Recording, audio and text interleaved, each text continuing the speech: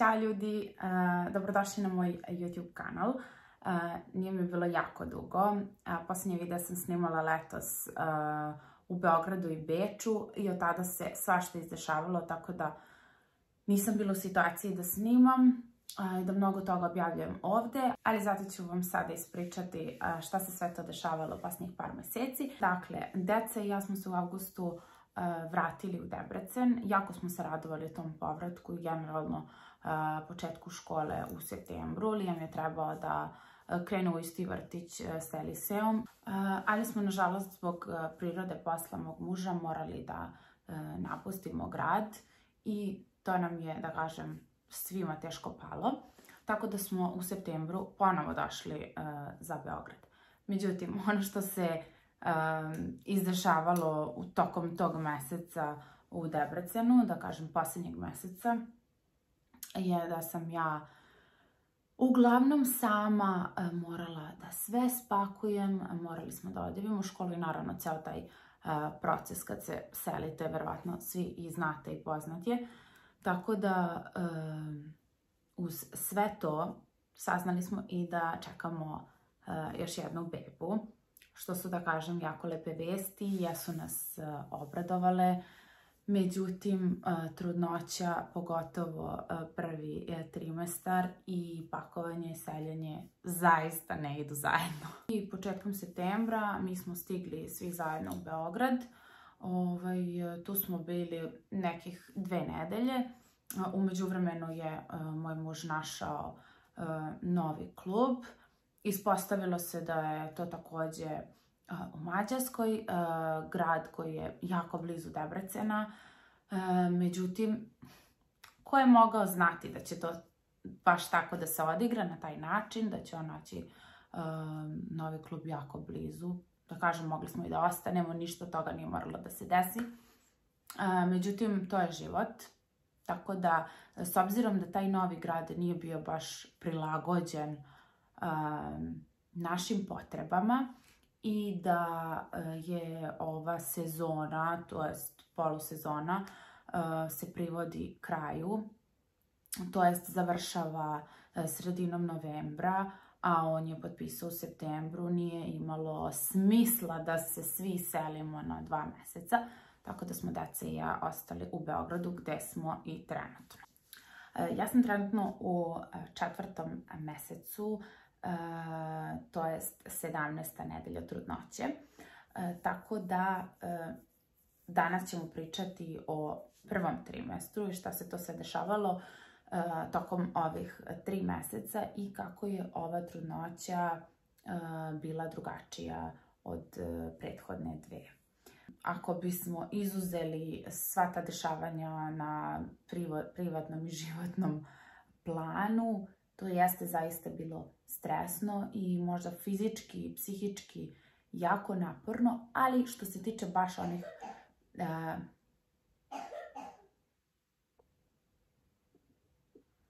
ali što se tiče baš onih, da kažem, trudničkih simptoma, da, bilo mi je, imala sam mučnine, bilo mi je muka, ali ne može da se poredi sa mučninama koje sam proživljavala u, prve dve trudnoće. Drugo, e, ja sam jako malo jela e, u tim prvim trudnoćama, dok, na primjer, sam sada stvarno jela možda nekoličinski mnogo, ali nisam imala problem ništa da pojedem. Imala sam samo, da kažem, neke stvari koje su mi se više jele u nekom momentu i neke koje mi se, na primjer, uopšte nisu jele, ali generalno nisam gladovala, nisam živjela na vodi i krekerima kao što je to bio slučaj u prvoj trudnoći, čak i u drugoj. Tokom septembra, čini mi se da sam tad već ušla u drugi mesec, e, ja sam se jako razbolela, deca su išla ovde u vrtić e, i verovatno su mi iz vrtića i doneli tu bakteriju. Ja sam tri dana bila pod temperaturom, bolela me grlo, nisam mogla da ustanem iz kreveta, bukvalno leđa su me bolela, samo sam ležala u krevetu, osjećala sam jako veliki umor. I onda je to prestalo odjednom, nakon nedelju dana to se ponovo vratilo i mene je generalno sve to umaralo, pritom mi smo se, da kažem, spakovali i došli ovde, stanje bio u haosu, pun kutija, sve što smo doneli mi smo već imali ovde. Tako da smo i deca i ja završili na antibioticima. Zamislite ko nije David. Ja ne znam kako čovek svaki put izbegne da pije antibiotike kad smo mi svi bolesni na antibioticima. No dobro, drago mi je zbog njega. međutim, mi smo svi bili ono dve nedelje pod lekovima i da kažem, malo smo tu usporili životni tempo. ja sam se fokusirala da ozdravim, da dece i ja budemo dobro i onda smo lagano, korak po korak, ceo stan sredili, doveli u red. Pogotovo kad smo saznali da, da ćemo ostati, onda mi je bilo mnogo lakše. Znala sam šta mi sve treba, šta mi ne treba, spakovala sam, odnela sam u garažu i da kažem, nekako sam oslobodila prostor i tu životnu energiju. Meni je to zaista važno. Ljudi koji me poznaju znaju da sam ja luda za čišćenjem i da imam te napade izbacivanja stvari nekoliko puta godišnje zato što zaista mnogo stvari i kupujemo jer živimo na dve meste uvek i imamo svega duplo i nekad, ne znam, zimske stvari nam stoje u jednom stanu, letnju u drugom, pa onda to sve menjamo kako idemo tamo, ovamo, pa uvek imamo dve pegle, dva fena i tako dalje. Lupam, sad dajem primere. Tako da ovaj, u momentu kad sam znala da, da ću ostati ovdje u narednih par mjeseci, bilo mi je mnogo lakše. Međutim, korak po korak odlučila sam da se ne forsiram. Ovaj, eh, to sam sredila i da kažem sada imam onako jedan eh, lep i miran životni prostor koji meni i mojim potrebama odgovara. Ukoliko ima još trudnica koje su pile ili treba da piju ili se brinu kako to utiče na trudnoću, na bebu, ja sam zaista zadovoljna, jako zadovoljna doktorkom koja mi vodi trudnoću. Ona me porodila i sa Lijomom i nešto vodila mi je pred kraj možda dva meseca trudnoće sa njim. Tako da sam odlučila da idem ponovo kod nje i ona me zaista smirila e, što se tiče e, uzimanja antibiotika u trudnoći. Rekla mi je e, da, ja sam pila ospamox ako nekome to znači. Rekla mi je da je to apsolutno bezbedan lek, da se koristi za novorođene bebe, za trudnice, dojilje i da zaista nemam čega da se brinem. Tako da Eto, nadam se da ova informacija može nekoj od vas e, da pomogne. E, što se tiče energije, e, imam je jako puno, imala sam je tokom prvog trimestra. Ako izuzmemo taj period kad sam bila bolesna, zaista nisam bila u krevetu po ceo dan. Nisam bila zatvorena u kući po ceo dan. Imala sam želju da izađem, da prošetam, nisam, da kažem, toliko e, imala snage, na primjer, da e, kuvam sve obroke kod kuće, da tako se bavim nekim sitnicama kojima se inače bavim. Ali dosta sam, da kažem, stvari izgurala e, tokom tog, tih prvih par nedelja. I da dodam taj mentalni segment koji je jako bitan svakoj trudnici, a to su te brige trudničke, da li će sve biti u redu i ono čega se svaka mama plaši, o čemu svaka mama razmišlja, pogotovo, pogotovo one žene kojima je prva trudnoća.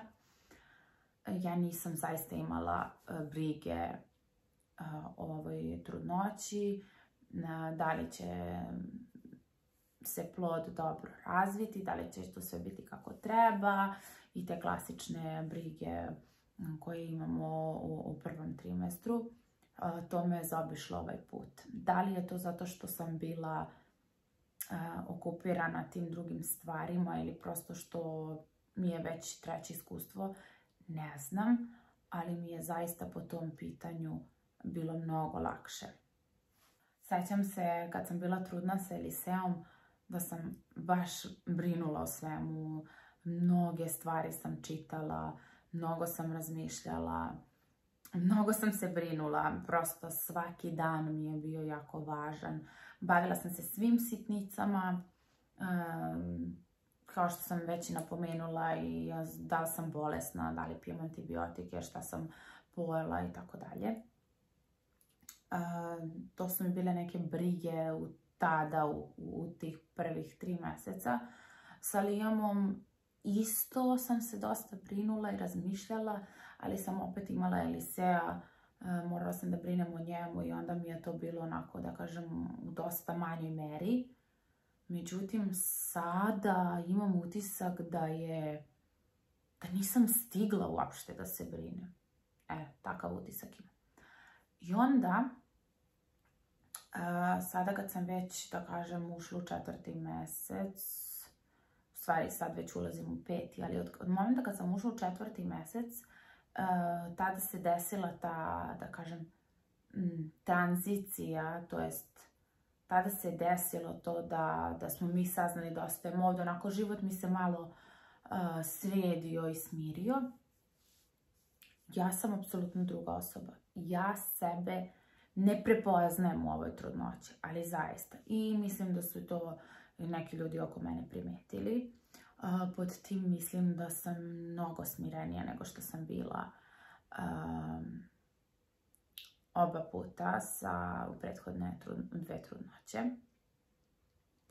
Zaista naučila sam da postavljam granice, da prosto nije mi uopšte žao e, da kažem šta je to što mi treba u tom momentu, šta je to što mi smeta, mm, da, ne, da kažem da nešto ne mogu, e, ne znam, prosto jako dobro funkcionišem i sa decom i sama sa sobom i svojim željama.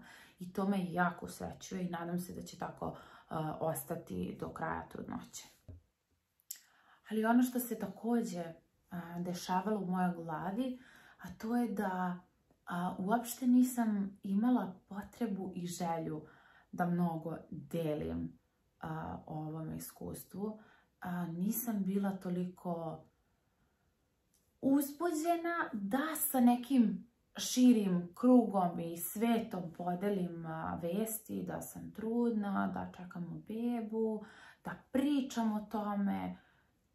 Ne znam zašto, ali primetila sam da je to dosta različito u odnosu na prethodne iskustva, jer znam da sam sa njima jedva čekala da ispričam, da objavim na Instagramu, da ne znam, sve me to jako uzbuđivalo. Naravno da se radujem i sada, ali prosto sam nekako želela da, da mi u miru prođe ovaj period i da ne, ne znam, ne znam kako to da objasnim, ali iskreno mrzelo me da pričam. I to je to. Ispričala sam vam sve čega sam uspjela da se setim da je obeležilo prvi trimestar ove moje trudnoće. Nadam se da vam se dopalo. Znam da sam malo skakala sa teme na temu i da je bilo tu svega i svačega, ali jednostavno sve su te stvari o kojima sam danas pričala nekako povezane i utiču. Nadam se da, to razumete. Tako da, ukoliko vam se dopadne ovaj video, verovatno ću isto tako snimati iskustvo i porediti e, drugi i treći trimestar i ovo su teme koje, o kojima ja baš puno volim da pričam, pripreme za bebu, trudnoća i tako to. Tako da nadam se da uskoro postavljam još puno videa.